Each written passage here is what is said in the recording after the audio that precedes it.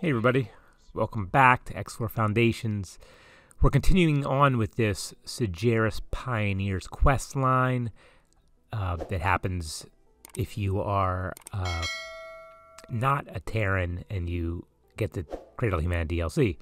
So basically, Dr. Feynman wants us to put ships in each of these three spots to do some coordinated scanning. So we're going ahead and doing that. We're just assigning some ships to the spots from around my little burgeoning empire here, and I'm going to go ahead and do the final spot uh, with my own ship, and then we'll get this scanning going. Okay, our ship's all in place, or just about in place. Here comes our, our last uh, straggler here. And there's Dr. Feynman. He's a bit arrogant a little bit. And uh, so basically, we want to do a long range scan, and this will cause our other ships to scan, and you know, something will happen. At least that's the idea here. So let's go ahead and do that.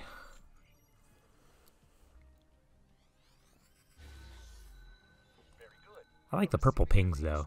Colors are nice. Okay. Whatever he was doing, it is done. And now the nav beacon's exploded.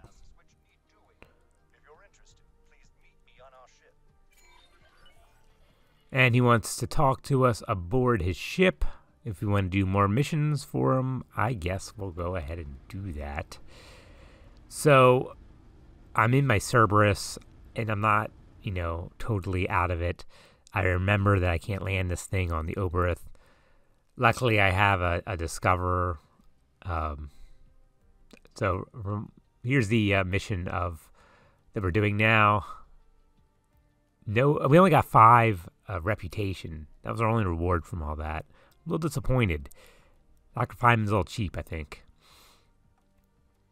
So we're going to go ahead and continue with this quest line. So I'm going to get my Discoverer here and park it aboard the Cerberus, then take the Cerberus over there then take the Discoverer over to land on his ship. Okay, let's do that. I'll skip over that. All right, we have landed on the Oberth. Walk over to the bridge here. I do love the uh, the scale of this game. It's just amazing.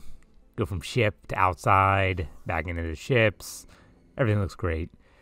All right, and now we're on the bridge. Let's see what Dr. Feynman has to say.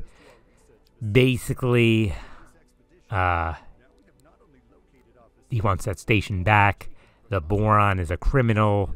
How they know about the boron, I don't know. Uh, but apparently he does, and is not a big fan of Bosa. And he wants to enlist our help in retaking the station. Now, I, I, ha- I haven't done this before. I haven't looked up any spoilers. I don't really want to, but I don't know if I'm going to be given the chance, uh, like to tell Bosa what's going on. Will I be able to make a decision, or if I go down this route, is is there's no way? Is there no way out? Are there no decisions to be made? I don't know.